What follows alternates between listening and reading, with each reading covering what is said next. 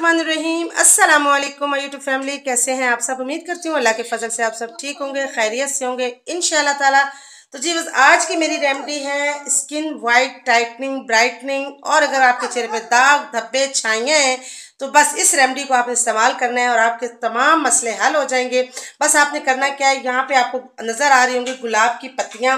तो ये मैंने बिल्कुल फ्रेश फ्रेश गुलाब की पत्तियाँ लेकर आई हूँ और आज मैंने सोचा मैं अपनी फैमिली के साथ इसका फेस पैक बनाऊँगी, इसकी मैं बाम बनाऊँगी और इसके लिए मैं आपके लिए बहुत अच्छी सी नाइट क्रीम बनाऊँगी। और ये मेरी दो से तीन वीडियो जो होंगी गुलाब के फूलों की पत्तियों के ऊपर होंगी और पाउडर के ऊपर होंगी।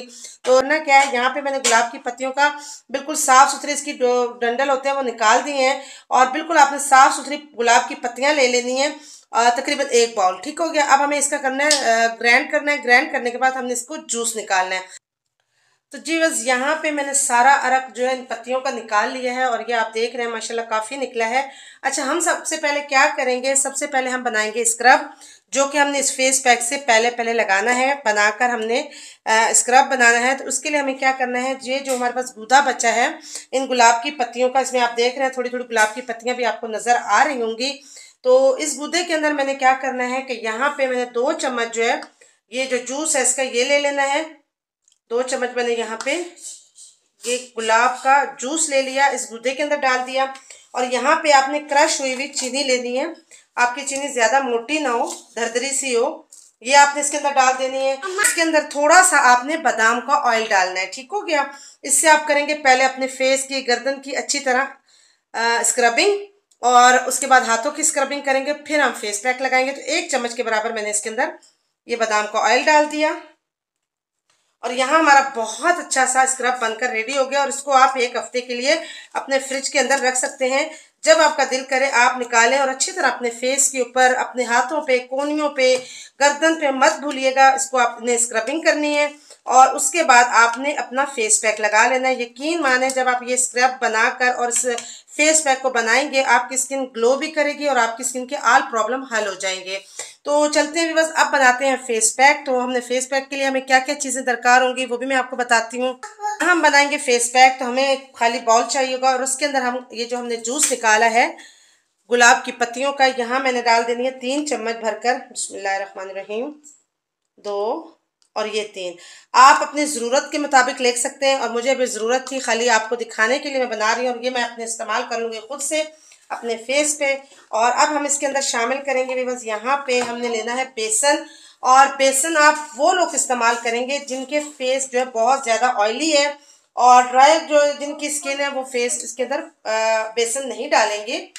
तो यहाँ पे मैंने एक चम्मच भरकर इसके अंदर ये बेसन शामिल कर देना है। और दूसरे नंबर पे मैं डालूँगी यहाँ पे बस यहाँ पे एलोवेरा जेल आपको पता है एलोवेरा जेल स्किन के लिए बहुत बेस्ट होती है। स्किन को ग्लो देती है स्किन को वाइट करती है तो एक चम्मच भरकर मैंने इसके अंदर एलोवेरा जेल शामिल कर दिया।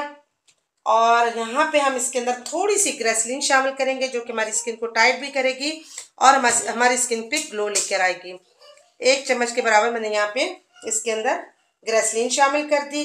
अब हम इसके अंदर क्या शामिल करेंगे? बस ये आप देख रहे हैं कॉलन क्ले ये आपको ऑनलाइन मिल जाता है आराम से और ये आपकी स्किन को टाइट भी करेगा, आपकी स्किन को वाइट करेगा।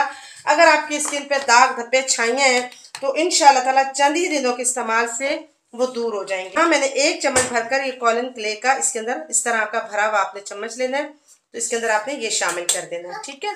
अब हम इसको करेंगे अच्छा सा मिक्स तो जी बस यहाँ पे मैं इसको अच्छा सा मिक्स करूँगी और यहाँ आप देखेंगे हमारा बहुत ज़बरदस्त सा फेस पैक बनकर रेडी हो गया। बिल्कुल क्रीम की शक्ल में हमारा ये फेस पैक बनकर रेडी हुआ है।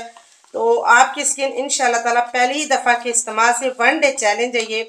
आपकी स्किन जो है एक दफ़ा के इस्तेमाल से बहुत ज़बरदस्त होगी। शर्त यह है कि जैसे मैंने आपको बताया है, वैसे ही आप इसको बनाएँगे और इस्तेमाल करेंगे तो बहुत अच्छे आपको इसके रिज़ल्ट मिलेंगे। हम स्क्रबिंग करेंगे। स्क्रबिंग के बाद हम इस तरह लेकर अपने हाथों पे इस तरह इसको लगा लेंगे और ये देखें, और हम इसको ड्राई होने के लिए छोड़ देंगे।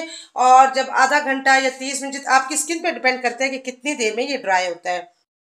तो जी बस यहाँ पे हमारा स्क्रब भी रेडी हो चुका है, हमारा फेस पैक भी रेडी हो चुका है। पाँच मिनट आपने स्क्रबिंग करनी है और उसके बाद आधे घंटे के लिए आपने फेस पैक लगाकर अपने फेस पे छोड़ देना है।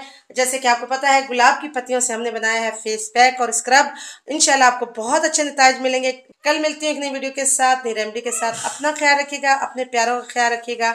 अल्लाह हाफिज़।